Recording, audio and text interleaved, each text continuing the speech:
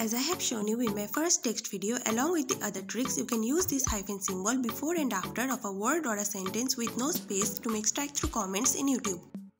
However, the same trick doesn't seem to work with the emojis. In this video, I will show you how to type strike through emojis and kaomojis in the YouTube comments. For emojis, as you can see, the hyphen symbol is not working here. To make it work, you need to add text with it. Put the hyphen before and after with no space and it's finally working now. You can use the text before the emojis too. And even in between multiple emojis.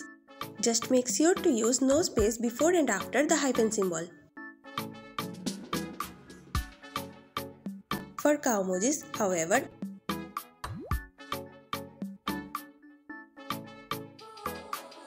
it works for some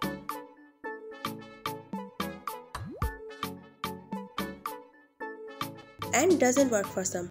Now, to make this type of kaomoji strike through, you need to use text with it with no space before and after the hyphen symbol just like the emojis I have shown you before. And it's working now. To know about another emoji trick, click on the video on the screen, check out the playlist for more and subscribe for new videos.